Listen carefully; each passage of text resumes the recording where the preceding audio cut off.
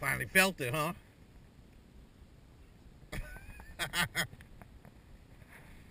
Gonna have to check your shorts now. Oh, I know. He was even slow up there yesterday. Yesterday, I think there was only 13 fish up there and here, all all afternoon. There was only like 15 guys. There was only 13 fish.